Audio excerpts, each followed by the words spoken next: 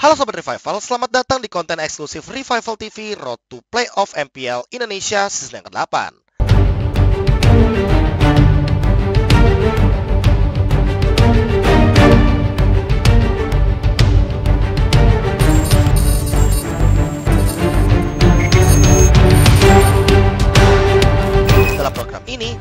Membahas secara lengkap mengenai 6 tim yang akan berlaga di Playoff MPL Indonesia season yang ke-8 yang akan berlangsung di Bali pada tanggal 21 Oktober nanti. Dia Playoff MBL ID Season ke-8 presented by Secret Lab jatuh di Bali.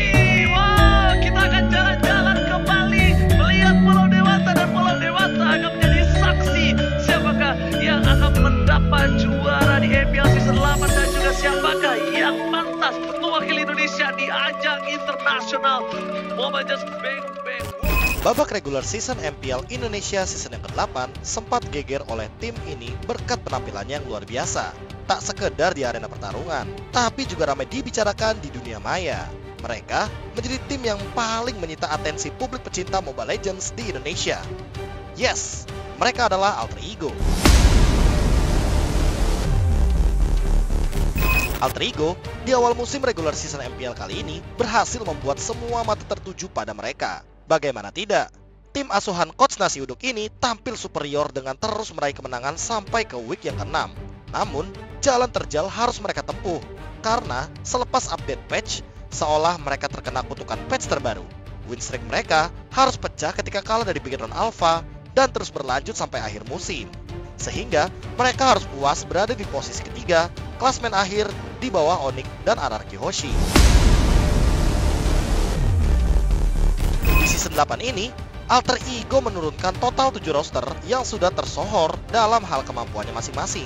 Ada Udil, Ahmad, Pai, Leo Murphy, Nino, Sally Boy, dan Rasi. Mari kita bahas satu persatu. Yang pertama adalah Ahmad. Seperti yang kita ketahui, Ahmad merupakan salah satu pemain andalan Alter Ego di beberapa musim ini. Bisa dibilang, dia merupakan salah satu offlaner terbaik yang berlaga di MPL. Ada juga Nino yang telah hadir sejak pertengahan musim lalu dan kini resmi menjadi pemain inti dari Alter Ego. Sejak debutnya di MPL Indonesia season yang ke-7, pemain ini sukses menarik perhatian dengan menggunakan Chow dan di season 8 kali ini Benedetta. Di beberapa pertandingan regular season, pemain MDL ini juga sukses mempersulit lawan hingga membawa Alter Ego lolos ke babak playoff. Dengan niat untuk mencegah penurunan performa seperti musim lalu, Alter Ego memboyong Rasi dari Onyx untuk memperkuat pertahanan mereka di setiap pertandingan. Selanjutnya, ada Udil. Pada awal babak regular season, Alter Ego tampil tanpa sosok Udil yang sempat absen. Udil baru kembali bermain di week yang kelima MPL Indonesia season yang ke-8 dan langsung membawa Alter Ego kepada win streak. Kembali membela Alter Ego di MPL Indonesia season yang ke-8, kehadiran Udil jelas menambah kekuatan tim ini yang akan bertanding melawan Bigetron Alpha di babak playoff nanti. Selanjutnya, ada bintang muda Alter Ego, Sally Boy. Pemain berjuluk The Miracle Boy ini telah menjadi sosok terpenting bagi tim Alter Ego sejak MPL Indonesia season keempat lalu. Sally Boy sejauh ini juga tercatat konsisten mengisi posisi inti di tim yang ia bela. Ia juga konsisten tercatat sebagai salah satu pemain dengan kill terbanyak tiap musimnya. Pai bergabung ke Alter Ego sejak 2020 lalu dan sudah mendukung skuadnya pada gelaran MPL season yang ke-6. Mengisi role EXP lane, Pai kompak saling berkolaborasi dengan teman-teman setimnya dan cukup konsisten di regular season. Terakhir, ada Leo Murphy yang dikenal sebagai tanker veteran di Mobile Legends. Permainannya yang baik membuatnya menyandang salah satu tanker terbaik di Indonesia. Leo Murphy bergabung bersama Alter Ego sejak MPL Indonesia season yang ketiga dan sampai MPL season ke-8 ini, ia tetap menjadi andalan tim yang sulit digantikan perannya oleh pemain lain. Leo Murphy juga dikenal memiliki spesialis yang jarang dimiliki oleh pemain tank lainnya, yaitu kemampuan untuk memancing emosi pihak lawan lewat tingkah tengil di Land of Dawn. Dengan modal taunting dan emoji, ia punya keahlian untuk melancarkan Cywar selama pertandingan berlangsung. Sejak tampil di MPL Indonesia season yang ketiga lalu, Alter Ego selalu menjadi tim yang menarik perhatian dan menjadi kuda hitam yang berbahaya bagi tim yang lain.